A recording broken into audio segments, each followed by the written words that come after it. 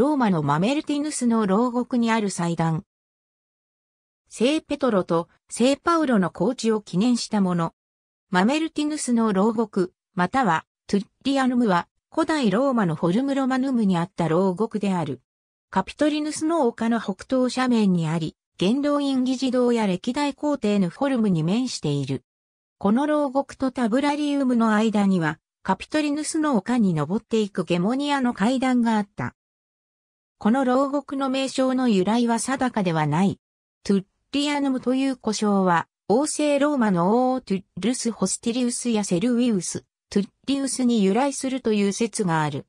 後者の説は、リウィウス、ウアロ、サルスティウスの文献に見られる。別の説として、水の噴流を意味する古いラテン語のトゥルリウスが由来で、そこにあった水槽を指しているという説もある。マメルティヌスという名称は、中世になってからのもので、近くにあったマルスの神殿を指しているという説と、聖ペトロの伝説に由来するという説がある。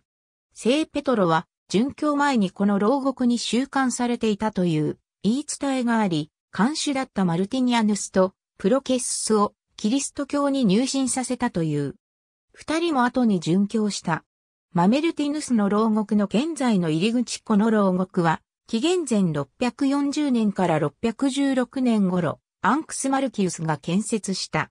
もともとは、地下2階の泉の水を溜めておく貯水槽として建設されたものだったが、その貯水槽と黒赤巻島を結ぶ排水路が建設され、下絵を押し流すのに、それを使うようになった。後に、地下2階の部屋は、地下1階の部屋の床の穴から罪人を下ろして入れておく牢屋となった。一般に重要な囚人だけがこの牢獄に収監された。例えば、ユグルタのようにローマと敵対して敗れ、外戦式の行進で引き回されたような人物である。その行進が行われるまでは牢獄に監禁され続け、その間に自然死しなければ行進後に窒息死させられる。